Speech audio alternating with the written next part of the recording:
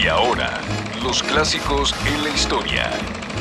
Octubre 13. En 1941 nace en Nueva Jersey el cantante, músico y compositor Paul Simon, del dúo Simon and Garfunkel, y con gran éxito como solista. Para 1944 llega al mundo Robert Lamb, tecladista y compositor de la banda Chicago.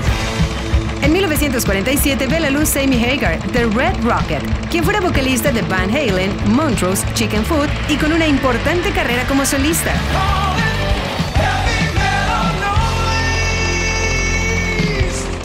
En 1983, Stevie Wonder llega al número uno en sencillos de Estados Unidos con el tema I Just Called to Say I Love You. I just called to say I love you. Para 1990, en ese mismo país, George Michael consigue el primer sitio de listas con el tema Praying for Time. En 2011, Maroon 5 llega a lo más alto de charts británicos con el sencillo Move Like Jagger, junto a Christina Aguilera. Conectamos cada historia con tu época.